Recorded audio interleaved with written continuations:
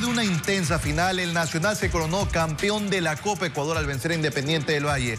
Teo Pozo está en el estadio Rodrigo Paz Delgado donde se disputó el partido.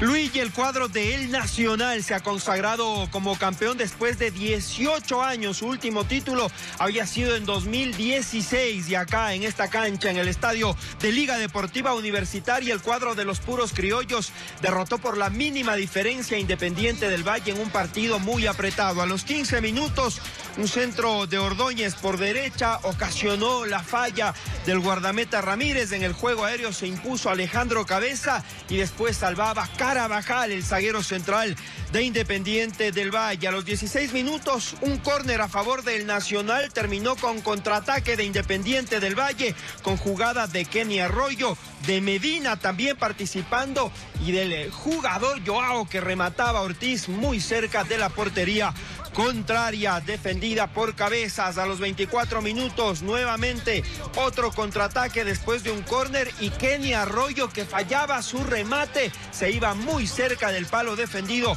por el equipo de El Nacional. A los 33 minutos, en cambio, Jorge Ordóñez en el mano a mano falló y no pudo resolver pudo haber sido el primer gol para el Nacional, pero estuvo también atento el guardameta Ramírez. Pero antes del cierre del primer tiempo, al minuto 43, se va a venir el único tanto del encuentro con este cabezazo de Bedoya que rechazaba, lo encuentra habilitado a Loco Cortesi exjugador de Independiente eh, del Valle, formado en IDB, que resolvía aguantando la marca de Richard Schunke para derrotar a Moisés Ramírez y de esa manera se marcaba el 1 a 0 para júbilo de los más de 25 mil espectadores que acudieron al escenario deportivo, la mayoría en un 90% hinchas del Club Deportivo El Nacional, ante la resolución de una de las figuras que ha tenido el equipo del entrenador Marcelo Zuleta.